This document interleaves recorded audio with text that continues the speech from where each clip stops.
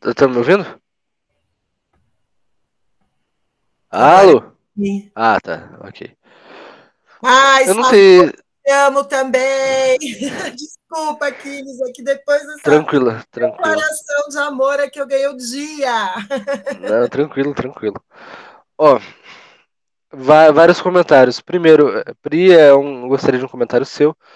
É, a turma anual, é, ela interage bastante e vocês também da turma, vocês interagem, vocês falam, porque essa aula eu programei para realmente ser falado sobre isso, discutido e não uma exposição minha.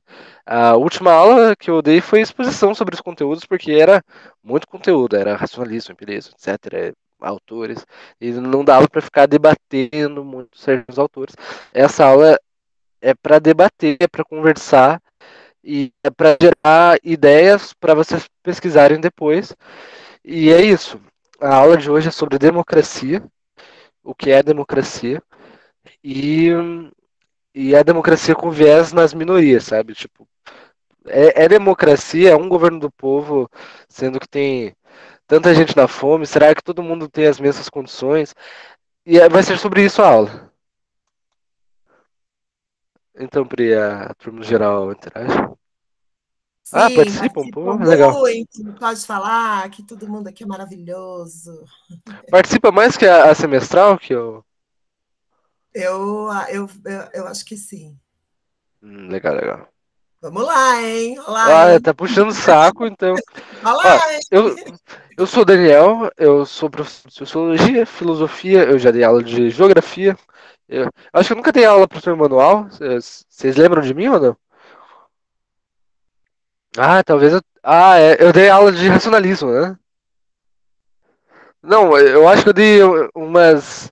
Sei lá, de 10 aulas, umas 8 foi de racionalismo e empirismo, porque sempre cai no meu colo eu falo, não, de- deixa pra mim, deixa pro pai. E agora é um, um assunto menos, sabe, menos conteudista e, e vai ser mais sobre debate. Eu tô com um problema no computador, eu vou ver se eu vou conseguir resolver agora. Computador é, é próximo de magia, sabe? Computador é algo muito difícil pra mim. Em um dia tava funcionando, e em outro. Ai, calma que eu vou ter que fazer login. E no outro simplesmente não funcionou mais. E meu computador ele ficou sem funcionar por um tempo. E eu tive que fazer altas gambiarra para conseguir fazer ele funcionar parcialmente. E é, eu não tô conseguindo compartilhar a tela. Vou, eu troquei de navegador agora. Vou ver se vai dar para compartilhar a tela. Um segundinho. É, porque eu num, num computador com umas configurações antigas e ele simplesmente não não tinha as funções que tem hoje, sabe? Tipo, o, o Meets, parece que eu tô falando de algo muito do passado, né? Mas o Meets ainda não existia, era Hangouts. Então por isso que por isso dá dificuldade de de compartilhar a tela, fazer umas coisas. Eu vou tentar agora, um segundinho. E como eu tive problema do computador, o que eu fiz para fazer slide, eu sempre faço uns slides bonitão. Eu acho que é, os de racionalismo e empirismo, vocês lembram aí? Nossa, tava bonitão, azul, com umas coisas, com uma paleta de cores, que eu sou todo do design e tal. E esse daqui eu fiz um Frankenstein de slide dos, dos outros, e é isso. Deixa eu ver.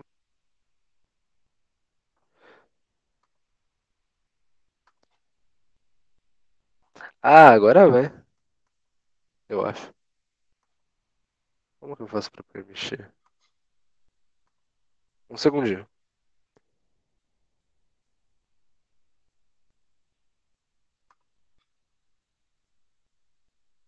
Estão me vendo ou não? Que Aqui tá tudo travado. Ah, ok. É, compartilhar a tela. Por que que tá bloqueado, cara? Eu quero, eu quero compartilhar a tela. Ô, Pri, eu vou chorar se não der certo aqui. Qualquer coisa, manda aqui. É, Ah, aqui, tá em três, tem três de você aqui. É, é Guerra dos Clones. É, é Jutsu. Ah, estão vendo a tela, né? Sim, agora foi. Ó, eu gosto da minha didática, eu acho que eu dou, dou uma aula mais ou menos, mas eu, eu vou pedir, tipo, desculpas real- realmente sinceras pra essa gambiarra que eu vou fazer aqui. Porque eu tava sem computador, eu tive que realmente estudar slide alheio, sabe? Esses slides horrorosos. Mas é a vida, né? É, Não dá sempre pra fazer aqueles slides bonitos. Tá, é, quando se pensa em democracia, o que vocês pensam enquanto eu agito o slide? E eu, eu quero participação mesmo, eu vou. é, Essa aula precisa de participação. Ai.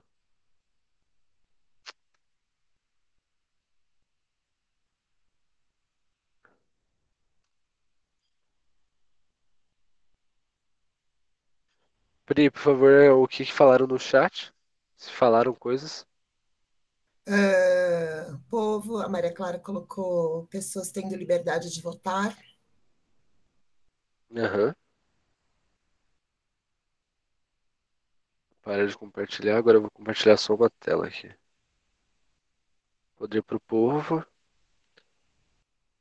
Cadê? Um segundinho, eu já tô compartilhando aqui uma janela. Eu quero essa janela aqui. Ah, não é. Vocês estão vendo slide ou vocês estão vendo vocês no Vortex? O slide. Ok, ok. Carlos colocou poder para o povo. Não digo poder, mas liberdade para decisão do povo. Aham, legal, legal. São, são bons. São boas partidas, né? É, a democracia ela tem várias implicações, sabe? Tipo, várias. É, ah, a democracia primeiro é um, um regime político, tem vários regimes políticos, né? Os regimes políticos são regimes para organizar os grupos, sabe? Desde, desde o começo da gente se agrupar em, em tribos, etc., tinha regimes políticos, sabe? Falar que o caçador vai fazer uma coisa, o cacique vai fazer outra, é um regime político. No caso, é como se organizam o- as partes do- de uma sociedade e o que, que elas vão fazer. Tem vários, como eu falei, ó, o caciquismo é, é um exemplo. O cacique vai fazer as coisas místicas, as coisas de organização, e é isso. E agora tem vários, sabe, regimes, só que o predominante é a democracia ocidental liberal. A democracia de- é algo que a gente já vai falar. E. Calma aí. É o que a gente já vai falar. E ocidental é referente ao Ocidente, que é a, galera que vem. O o Ocidente é, é tipo o Ocidente do mundo, só que são as influências culturais, políticas, ideológicas da Grécia, Roma e afins. Então, a Austrália está no Oriente, mas é o Ocidente. Enfim, e liberal, que estamos sobre princípios do liberalismo, que é aquela galera de 1789, liberdade, igualdade, fraternidade, etc, etc, etc. Deixa eu tomar um golinho de água, porque eu acabei de dar uma aula e, nossa, foi sem parar.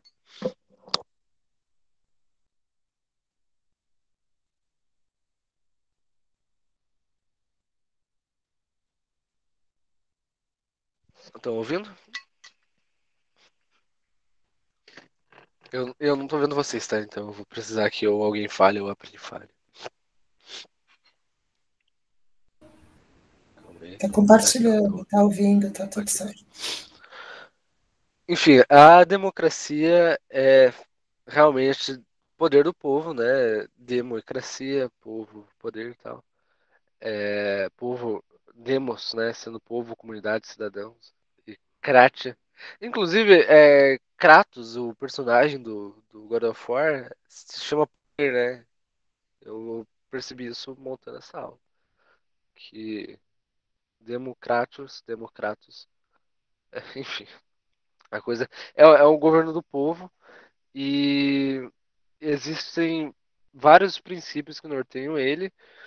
Uh, e a gente tem que. Calma aí. Vou. Olha, de volta. Desculpa realmente fazer essa gambiarra de slides, mas foi uh, o que deu pra fazer por hoje, que eu tava sem computador até antes de ontem. Uh, enfim. Onde que eu parei? Uh, algumas bases da democracia agora, não historicamente, sabe? Porque historicamente tem várias coisas. A democracia da Grécia é muito diferente da nossa democracia. A, democracia da Grécia era uma coisa que geral ia lá na polis e, e todo mundo falava e é, era algo mais direto, sabe? E agora a gente não tem capacidade para isso. Um país de 200 milhões não é uma o, o centro de Atenas que as pessoas livres opinavam. Não, não é assim. A gente atualmente está num regime de democracia indireta. É, de, é aqui.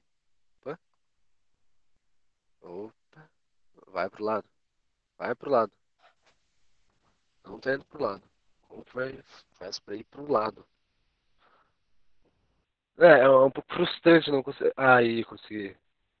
Enfim, o termo se origina, como eu disse, governo do povo, demo, povo, kratia, poder.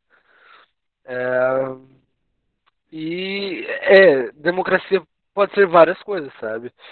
E, inclusive, existem tipos diferentes de democracia, como a democracia direta, que é o, o do, da Grécia, eles vinham nessas coisas, discursar sobre os problemas da cidade, propor as coisas, geral levantava a mãozinha para votar.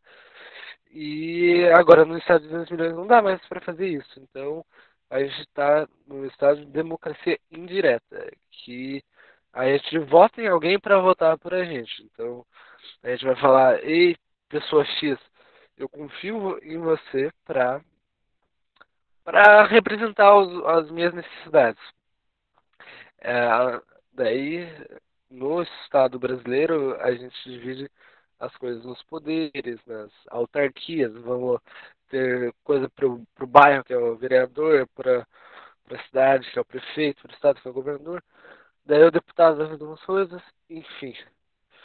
Só que, deixa eu vir aqui um segundinho. Volta, volta. Volta um pouquinho, um segundo.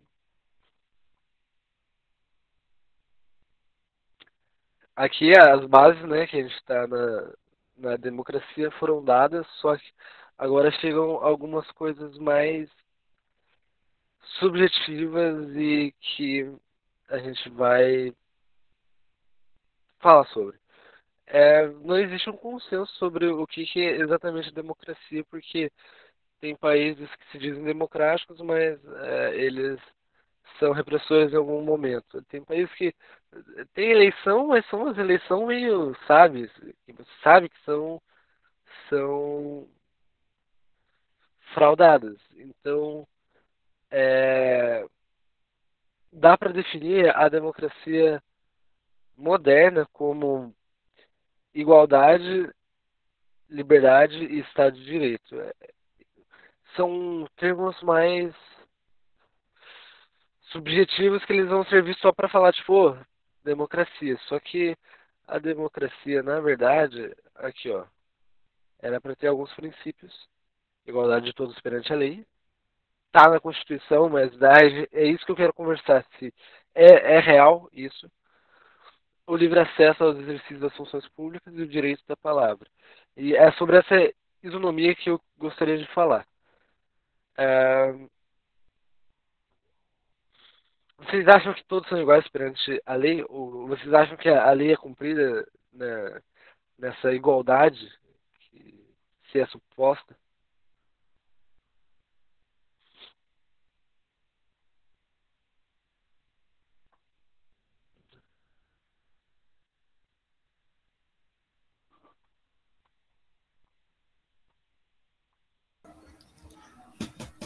Uh, o Carlos colocou não, a Letícia colocou que acredita que não. Uhum. Mais alguém?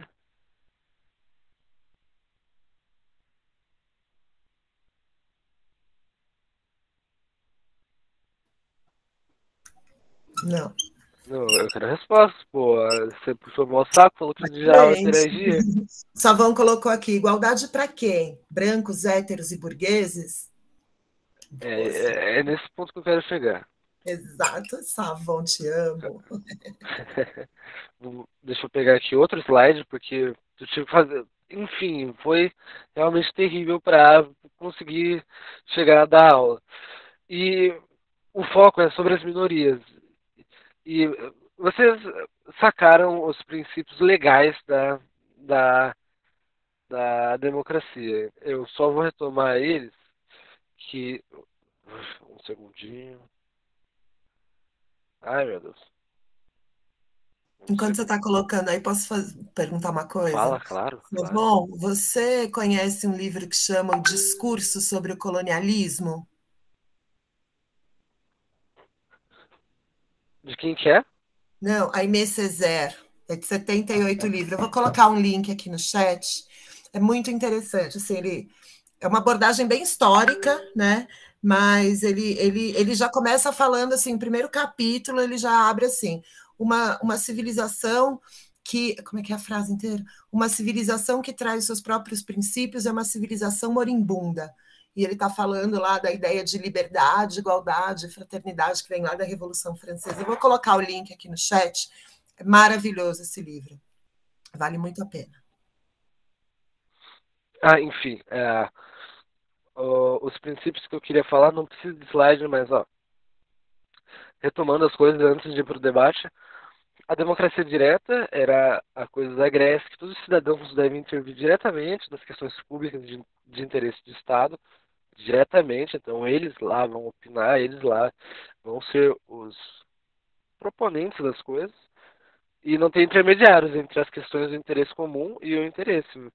Se você queria falar sobre alguma coisa que está acontecendo na sua rua, seu, entre seus vizinhos e tal, você ia lá e falava. A gente não está mais nesse estado, a gente está numa democracia representativa, é, que as decisões não são tomadas pelos cidadãos, é, e sim por representantes que os cidadãos escolhem. Então, as participações são indiretas, periódicas, formais e se expressam pelo meio das eleições. Né? E. Ah, tá. Eu, daí eu. Agora sobre a desigualdade. Essas são as coisas da democracia por si. É, os pilares, tecnicamente, são a igualdade de todos perante a lei, o livre acesso do exercício das funções públicas, no caso a liberdade e o Estado de Direito. E deixa eu pegar o slide que eu não estou achando. Ah, sim. E agora eu gostaria de falar sobre minorias sociais. É, não. Deixa eu só puxar isso para cá minorias e direitos humanos, daí eu peguei esse slide para falar sobre minorias sociais. Inclusive, eu realmente peço desculpa porque eu tive que ler vários slides e tal, mas eu não consegui montar o meu por falta de aparato. Estão tá, vendo que teve que ter três DNAs aqui para poder falar e apresentar. minorias sociais não são minorias numéricas. Minorias sociais são que têm menos força. Então, por exemplo, negros no Brasil, eles são minorias, mas eles não são minorias numéricas, sabe? É, na, na África do Sul do Apartheid, os brancos eram as minorias numéricas, mas eles eram os opressores, então os negros viraram as minorias sociais. É, as minorias são coletividades que são vítimas de processos discriminatórios, persecutórios e, e qualquer coisa que é, qualquer estigma que os deixem ter menos força nas, na, na, sua vida, sabe? E no seu poder como um todo, como um coletivo e como indivíduos. É, algumas minorias. Algumas características são a vulnerabilidade social, a opressão social, é, o distanciamento do, do padrão, que no caso o, o padrão, o forte, o positivo, o legal é o branco, o hétero, o rico, o, o bem formado, o, enfim. E as minorias sociais se afastam disso. Hum. E o, o Tocqueville é um, um teórico. Vocês, já ouviram falar sobre ele? Enquanto eu tomo um olho ar. Por favor, faz a resposta.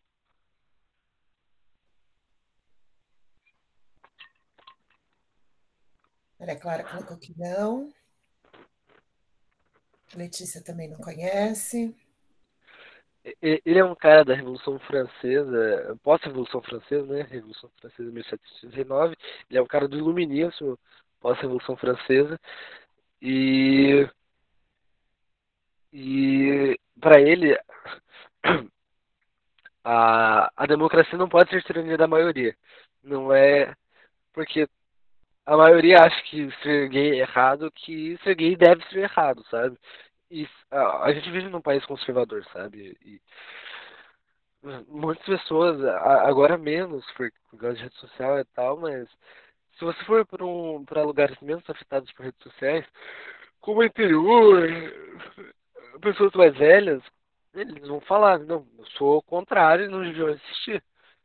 E não é porque a maioria está achando isso que é certo. Ah,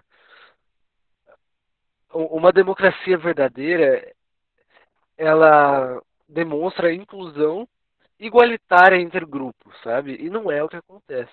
Ah, eu queria debater sobre isso com vocês. Alguém abre o microfone, pelo amor de Jesus. Eu queria muito debater isso com vocês.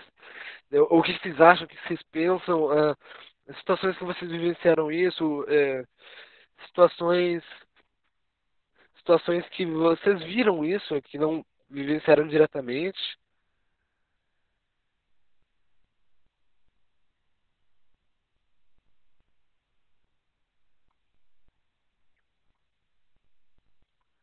Enfim, deixa eu ver se alguém falou alguma coisa. É... Não conheço, enfim. Cadê? Essa frase é legal. É, a gente tem o direito de ser iguais quando a diferença nos inferioriza.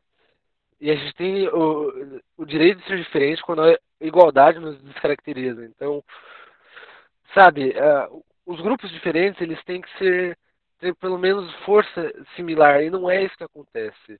E aqui na a Constituição Federal diz que tem alguns o, o Estado Democrático de Direito tem alguns parâmetros que eles não são seguidos, eles simplesmente não são seguidos. E tudo isso faz a gente voltar para a pergunta inicial: democracia para quê? Democracia para quem? É, os direitos são a cidadania, a dignidade da pessoa humana, os valores sociais do trabalho da livre iniciativa. E voltando, os objetivos são uma sociedade livre, justa e solidária, para promover o bem de todos sem preconceitos de origem, raça, sexo, cor, idade e qualquer outra forma de discriminação. E, e o item 3. O item 3 é o objetivo da, da República do Brasil. Erradicar a pobreza e a marginalização reduzir as desigualdades sociais e regionais. Isso está na Constituição. É o Brasil está falando literalmente o objetivo do Estado do Brasil é o objetivo e, e, funciona o objetivo do Estado do Brasil? É, é, é, isso que eu quis trazer à tona, porque, de volta, eu, eu tive pouco tempo para preparar a aula, eu quis fazer uma aula para a gente conversar, debater e implantar a semente do caos intelectual na cabeça de vocês. Para essa aula, eu pensei menos na, na coisa das questões e mais na, na redação. A redação, ela quase sempre aborda parâmetros e coisas contemporâneas. Ela é, é muito difícil que aborde uh, o que, que foi a Revolução em 1789 e os impactos para a sociedade na época. Uh, vai falar tipo, ah, o que foi a Revolução Francesa e como ela impacta até hoje. Uh, as últimas redações foi teve o, a coisa do cinema, das salas do cinema, depois teve das. Não era sobre. Era algoritmos e redes sociais em 2018. 2019 eu não lembro o que, que foi. Depois teve sobre meio ambiente, depois teve a primeira vez que eu ouvi falar sobre Enem foi quando teve sobre lei seca. Então, sempre sobre coisas atuais. E a atualidade da não do, do, do Estado não funcionar é, é atual, sabe? O, é, é, bastante importante ter essas cláusulas, o artigo 1 e o artigo 3 da Constituição. O primeiro sobre os fundamentos do Estado e o terceiro sobre os objetivos. Dá, dá bastante peso numa redação, sabe? Você citar, ah, o, a, a, a, lei magna de nosso país, em seu artigo 3 estabelece que o objetivo do Estado é construir uma sociedade livre, justa e solidária. Isso como uma introdução, e daí você já bota problemática. Mas, de, dependendo de como, de como, de qual é o tema da redação, mas minorias, as minorias são maiorias numéricas, sabe? É, você vai ver que são poucas pessoas que são o padrão que você conhece, ou que é, elas são brancas, elas elas são bem educadas, os pais são, não são separados e não tem problemas familiares e são hétero e, e, fre sempre frequentaram a escola e nunca reprovaram. Cara, eu conheço umas duas pessoas assim de centenas e centenas de pessoas, de pessoas que eu conheço, inclusive eu, sabe? Ah, bota coisa estética também, até ser cabeludo, ser tatuado. Cara, tudo isso vai te fazer fora do padrão, mas é claro que ser cabeludo tatuado não é um grupo social que, né, às vezes eu posso sofrer um pouco de pressão estética, às vezes podem falar que, que eu tenho cara de viado, mas a, coisa da, da, de ter cara de viado é, é referente à homofobia, não é cabeludofobia. E a gente volta para essas questões. O Estado brasileiro ele não serve para deixar pessoas ricas, ele não serve para criar estatais, ele não serve para fazer políticos, ele não serve para fazer estradas, ele serve para essas coisas do artigo 3. Construir uma sociedade livre, justa e solidária, garantir o desenvolvimento social nacional, erradicar pobreza, marginalização e reduzir desigualdades sociais regionais.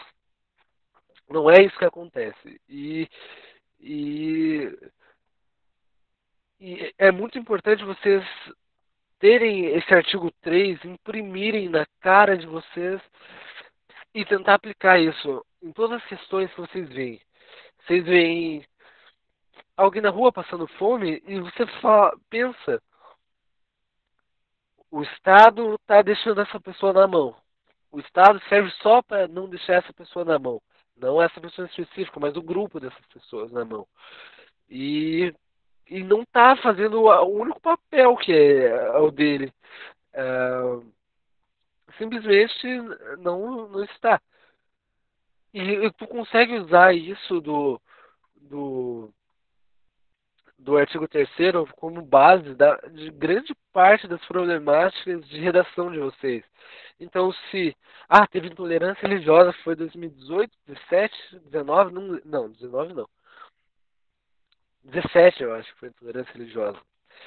Naquele ano teve alguns casos de terreiros de Umbanda, de Kimbanda, do Candomblé, sendo, sabe, apedrejados, pessoas em vestes tradicionais sendo apedrejadas e ameaçadas, etc, etc.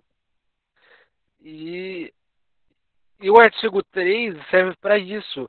É para erradicar a marginalização dessas pessoas, que são vistas como algo do mal, algo do demônio, etc., por exercerem outro tipo de religiosidade e e promover o bem dessas pessoas, sem preconceitos de origem, raça, cor, e acabar com a discriminação, e não é isso que acontece. E, e de volta, isso é só para que o, o Estado Democrático do Brasil, a República Federativa do Brasil, existe. Não, não existe para nada mais, é para garantir o bem das pessoas que nascem nesses territórios por é, porque Deus quis e. Nossa, até desafinei. É, eu fico meio revoltado, sabe? E, e, não simplesmente não funciona. É só para que serve? É tipo uma faca que não tem fio. É tipo uma colher que é vazada no, no meio. Porque, inclusive, a gente vê o Estado promovendo coisas que estimulam preconceitos e, que estimulam preconceitos, que é, estimulam as desigualdades. Inclusive o, o presidente, que é o, o, o, o representante maior desse estado, estimula isso. Fala que fulano é viadinho, fala que, é, que a mulher é fraquejada, etc, etc. E a democracia, e a democracia que está nessa Constituição, que está nessa lei, serve para quem? E você vai conseguir usar isso em redação muito. De volta, falando de intolerância religiosa, falando de homofobia, falando de é, desastres ambientais, porque os desastres ambientais afetam os mais pobres. Os mais pobres são jogados para a periferia, a periferia não é planejada e, e vai se criando algo não planejado, caótico, hostil e mais vulnerável às avarias ambientais. É, então, voltando, dá para falar disso em intolerância religiosa, dá para falar disso em, na problemática ambiental, em homofobia, em, em, em, pobreza por si. No Brasil, voltando no mapa da fome, que voltou esse ano, é, graças ao inapto do nosso presidente e à pandemia, voltamos, sabe? A gente tinha saído há, quase 20 anos e tem gente comprando osso na fila, fazendo fila para comprar osso. Isso isso é, é indigno, sabe? Deixa eu só abrir pro meu gato, que ele tá olhando pra mim. Vai lá, gato. Isso simplesmente tira a dignidade da pessoa que ninguém compra osso porque quer. A pessoa compra osso porque está com fome, está passando fome. É, banha também, é, restos da, da gordura. Banha não, né? Mas restos de osso com gordura é porque a pessoa tá passando fome, isso tira a dignidade dela, porque ela com certeza gostaria de estar tá comprando um bife para o filho, fazer um arroz, feijão, bife, ovo, uma farofinha, mas não dá. Simplesmente essas pessoas são excluídas das coisas mais básicas, que é a alimentação, é o bom sono, é as necessidades físicas garantidas. É, deixa eu ver quanto de bateria que eu tô rapidinho. Tô com 3%, deixa eu botar na carga, senão. Acabo... Já teve uma aula que eu tava tendo que fazer gambiarra e acabou a bateria e perdemos vários minutos. Por isso, pode, enquanto eu boto para carregar, ler o que falaram? Sim. É, só um complemento aqui sobre a questão da, da, intolerância religiosa, né? Que nos cultos e nas missas adoram falar em amor, mas a macumba é para chutar. Né? E aí Sim. ele colocou aqui uma coisa bem importante né? O cara aí no poder é um surto coletivo, o país não está sendo governado por ninguém. Então, olha, eu vou dizer uma coisa, Savon. É, na verdade, eu, eu não penso que o país não está sendo governado por ninguém. Eu penso, na verdade, que esse cara ele representa um grupo, né, uma força política que é conservador e é um projeto de país. Né? Ele, as cortinas de fumaça. Então, enquanto, enquanto a gente é, Claro, não é perder tempo xingar o cara, porque tem que ser xingado mesmo, né? Não posso nem falar o que, que eu penso aqui direito, porque está gravado, é. eu posso até ser presa. Mas, enfim, eu acho que esse cara, é, ele, na verdade, ele representa né, um, a, naquele, nesse conceito de maioria e minoria das forças políticas, né, ele representa essa maioria de força política. Quando você pega as bancadas né, no Congresso, é, você tem mais de 100 pedidos de impeachment, né, essa palhaçada de ontem e anteontem aí do, dos precatórios e da, da, da, da, entrega de verbas de relatoria e etc. Então, na verdade, você tem um grupo político, você tem uma força política que lá em 2016 colocou esse cara no poder. Né? É um projeto que já vem sendo feito. Uhum. Né? É, e que se consolida aí no, no, no golpe, né, no golpe de 2016, uh, e, e, e, vai se consolidando aí com esse cara no poder. Acontece que esse cara, né, é, acho que é absurdo, absurdo até para os conservadores, mas eu acho que a gente tem que ficar muito atento, porque é o seguinte: é, a, a, esse grupo, que, que, essa força política que sustenta esse cara, vai por outro na jogada. Né? Vai por outro na jogada. E aí, assim, ó, é, é, é, aquela coisa da gente pensar assim: é indigno comer osso, mas o quanto que é mais indigno ainda ter pessoas que vendem esses ossos, né? Que eram doados. Sim. certo? Então, eu acho que a gente precisa pensar isso. E aí eu queria só deixar um ponto para pensar, que eu acho importante, que assim, é, eu acho que a nossa democracia ela tem milhares de problemas, mas eu, Priscila, eu ainda entendo que a democracia ainda é a melhor forma, o melhor regime político, porque é aquele que a gente consegue mexer. Sim, né? então, então é, é, a democracia é, Ai, é, é, um, é, um, tema muito complexo. Eu, eu, quis trazer só democracias e minorias sociais e, e qual como as minorias se portam, sabe? E trazer isso para debate. É, mas a, a, democracia realmente é uma coisa muito difícil de se conversar que é, é realmente é um consenso meio que mundial, sabe? Que até agora é como a gente tem para fazer as coisas de uma maneira boa, porque diferente de regimes antigos como autoritarismo, totalitarismo e afins, uh, no Estado democrático tem pesos e contrapesos, sabe? Existem poderes que regulam uns aos outros, existem formas de intervir quando uh, coisas que parecem absurdas são feitas. Uh, o problema é que essas formas de intervenção vão ser diferentes, sabe? Um grande empresário vai ter mais, mais formas de intervir do que a gente. E daí é aí que entra também uma, uma coisa da democracia para quem se é, é para ter igualdade entre a gente. Um empresário, por ele ter mais dinheiro, ele vai ter mais formas de manipular o poder, de exercer seu poder. Então não é bem, bem exatamente democracia, né? Porque já tirou essa coisa da igualdade. Só que assim, mesmo tendo essa diferença entre eu, um empresário, um indigente, é, ainda assim existem pesos e contrapesos que, de certa maneira, se regulam. E por isso é, a, a, democracia não é de toda ruim, sabe? Não é só porque é, o Estado não promove o que ele tem que promover integralmente que ele tem que ser abolido, porque provavelmente essas coisas ruins só iam se intensificar, sabe? O Estado é para amainar parcialmente essas coisas ruins e, e promove parcialmente, sabe?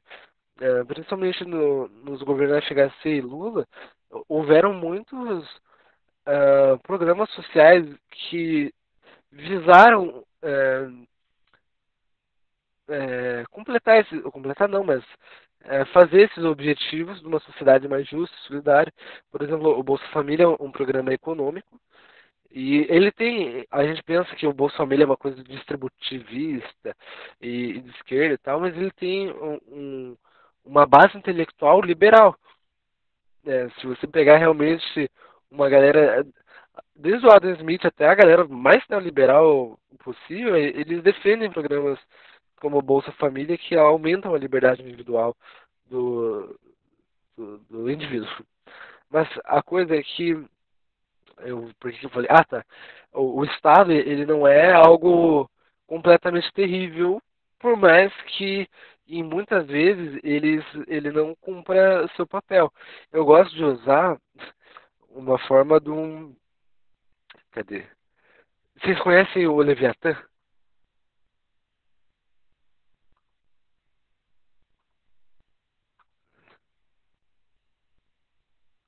Resposta, resposta? Ninguém teve respostas?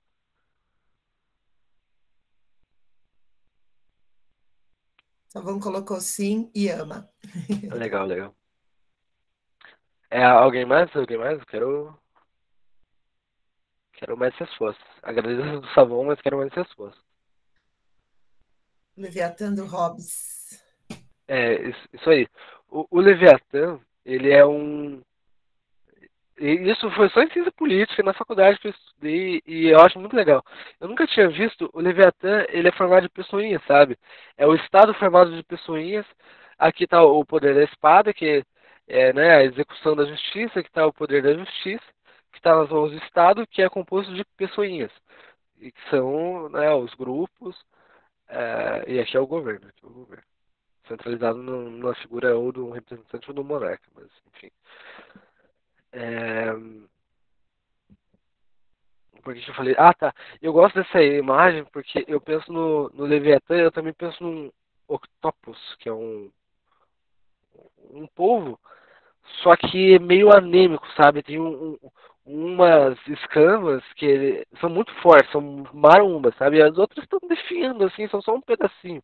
Então eu penso no, no, no Estado brasileiro como um Leviatã xoxo, capenga, anêmico, manco, que em alguns lados ele pesa a mão, sabe? E ele realmente exerce. A gente tem um Estado muito punitivo, sabe? Tem muita gente na prisão e, e, nisso o Estado ele tem a mão muito forte, o braço muito forte.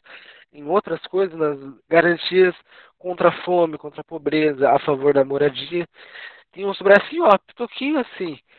E voltamos para a questão. A, a construção do Estado tem como esses objetivos. O artigo 3. Lembrem desse artigo quando vocês forem. Uh, estudem um pouco. Esse artigo não é uma coisa difícil. Por mais que a gente pense, cara, a Constituição deve ser difícil de ler. Artigo 3 da Constituição. Mas simplesmente não é, ó. Começa falando que todo o poder emana do povo e que aqui é, constitui os objetivos esses princípios fundamentais aqui são bastante importantes, que você vai conseguir dissertar sobre várias coisas com base nesses princípios aqui na sua redação. Enfim, é, esses são os objetivos e não são concretamente aplicados, sabe? Nossa aula vai até 45 ou 50, Pri? 50, temos mais 50 seis. aqui. É, E as minorias fazem parte, inclusive numericamente, majoritariamente, do nosso Estado, e elas são deixadas de lado. Tem literalmente milhões de pessoas passando fome, milhões de pessoas com um índice de escolarização muito baixo. Realmente, a gente vai ver nossas notas em PISA, em, em eu esqueci o nome do outro exame, mas afins. E é tudo muito ruim, a gente sempre está nas últimas colocações, e é o Estado que não está exercendo a sua função de Estado, que é para garantir essas coisas, não para nada mais, sabe? E não, não é para nada. A gente pensa no Estado fazendo estrada, cobrando imposto, mas ele só faz estrada, cobra imposto, faz hospital. O Estado não tem que fazer essas coisas por si, sabe? Não está escrito fazer hospitais por ano, mas tem que garantir saúde. A saúde se garante através de hospitais. E o bem-estar se garante através de hospitais. É, a, a erradicação da pobreza e da marginalização também é através de distribuição de renda, hospitais, afins. A coisa, eu, eu não gostaria de encerrar no final da aula, eu quero ouvir, de preferência por áudio, comentários dos alunos sobre o tema. E como vocês aplicariam isso numa redação?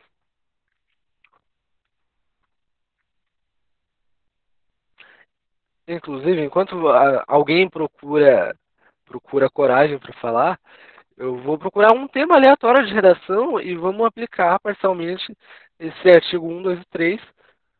1 e 3, né? Tema de redação. Enem. Uh, temas, né? exemplo. Ah, eu quero ouvir alguém falando, pelo amor de Jesus.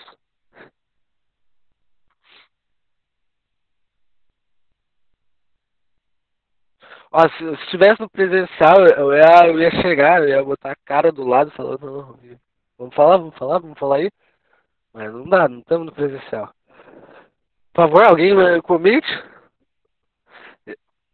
tipo, no assunto pandemia, como que você exerceria essa questão das minorias, da, da, do desbalanço de força entre minorias e maiorias sociais? E como você faria isso numa redação sobre pandemia? Racismo é evidente, desigualdade social é evidente, mas preconceito linguístico, por exemplo, dá para colocar aí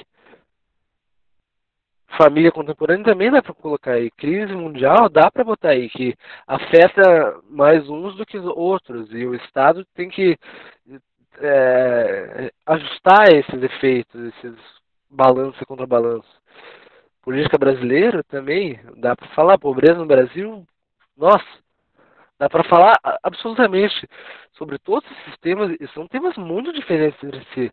Sistema público, sistema educacional, pandemia, deficientes físicos, é tudo muito diferente.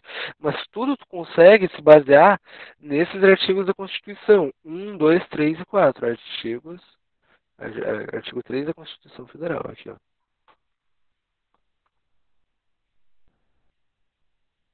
Soberania, cidadania, dignidade, valores sociais, pluralismo político, é, objetivos e as regências do Estado para fazer isso.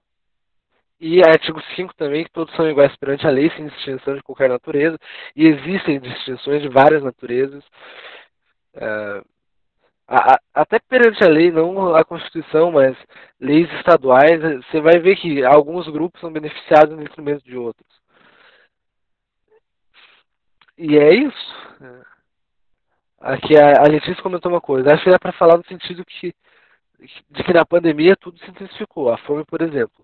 Muitos, é, cara, tanta gente que desistiu simplesmente é, porque não tinha estrutura, tanto estrutura física como um computador para ver as aulas, estrutura familiar, um quarto. Recentemente só que eu consegui um lugar para sentar e dar aula. As aulas do ano passado, a Pri lembra, eu dei uma, cada uma num fundo, uma eu dei no chão porque porque era onde dava, sabe? E eu, eu até tenho uma é, ajudar a família, principalmente isso. E as pessoas perderam os empregos e nossa, é, o tanto de coisa que dá para falar com esses artigos 1, 1, 3 e 5, esses ímpares. É, livre expressão da, da, atividade intelectual, a gente vê jornalistas sendo reprimidos por, por falarem, uh, invioláveis à intimidade, vida privada, a honra e imagem das pessoas, a gente vê com esse problema da invasão de dados que ó, dá para falar sobre muita coisa, muita coisa. Vocês podem pegar qualquer tema para estudar, bota o artigo 1, 3 e 5 do lado, e dali, é, claro que você não vai fazer isso no, no Enem, só que para você treinar, tu, tu vai conseguir treinar muito bem. E tu vai ver que sempre são as minorias que vão ser mais afetadas. É, homens e mulheres são iguais em direitos e obrigações, mas as mulheres vão ser mais afetadas na coisa, na, na, nos tópicos da vida, nas opressões. Ah, é assegurada a prestação de assistência religiosa, mas você vai ver que algumas religiões são mais oprimidas em detrimento de outras e têm menos assistência. E elas são minorias. Você vai ver tudo da Constituição, vai pensar quem é prejudicado, a quem isso não serve. E você vai ver que é batata. Alguém vai estar tá sendo menos servido, alguém vai estar tá até perdendo, e outra pessoa ou vai estar ganhando ou vai estar numa posição de maior força. Ah, sobre a pandemia, eu colocaria ensaio sobre a cegueira. Saramago, como eixo. Logo em sequência, citaria a Constituição contrapondo a forma que ela foi usada de maneira errônea, aumentando assim os casos de pobreza e marginalização. Perfeito, perfeito. E eu, particularmente, não conheço, eu já ouvi falar dessa obra, mas eu não conheço os pontos principais da, do ensaio sobre cegueira. Sobre a cegueira. Mas, enfim, o tema dessa aula foi abordar uh, a democracia, né, as bases, que a gente tecnicamente é igual, na Constituição, onde está escrito que a gente é igual, e destrinchar todos os pontos o quanto possível que a gente não é igual. Na prática, né? A gente pode ser na lei, mas na prática não é. E como essa questão afeta as minorias sociais. Então, é, essa aula era para ser mais filosofia, sociologia, falar, ah, é porque o Aristóteles, ah, é porque o Platão, é porque Grécia, é porque depois Atenas, Roma, etc, etc. É, mas eu quis trazer, eu combinei né, com os professores, é, de trazer mais essa abordagem das minorias, e eu saí um pouco da, do, do foco para ter, para as para as questões e voltei o meu foco para a redação e mesmo para vocês ficarem pensando nisso, sabe? Pensando no banho, tipo, putz, é, eu não, não consegui fazer tal coisa é, eu, não consegui ser atendido, me violaram um, um direito. É, uma pessoa rica, ela vai ter mais direitos em relação a mim, então isso é contra a Constituição. E tudo que você for pensar a esse respeito, você vai você vai ficar doido pensando e vai ser muito bom para você escrever na redação. E é sobre isso a aula de hoje. Eu gostaria de alguma dúvida, algum comentário. Eu peço perdão, inclusive, que ela não, não teve slide certinho, eu tive que procurar slide que eu separei e tal, mas eu espero que tenha sido produtiva a aula, que vocês pelo menos tenham, tenha implantado uma sementinha e vocês pensado nisso. Ué, até baixou a pressão tanto que eu falei. Aberto para perguntas, sugestões, comentários.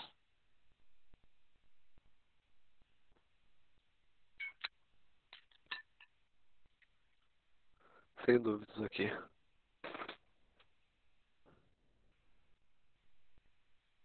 Então, é, dá para parar a gravação, quem está gravando.